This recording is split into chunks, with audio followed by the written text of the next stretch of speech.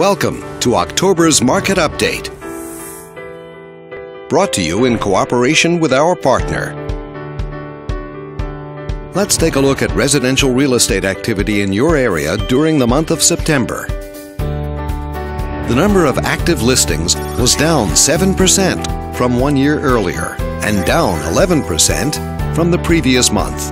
This smaller inventory means that buyers who waited to buy may have had a smaller selection to choose from.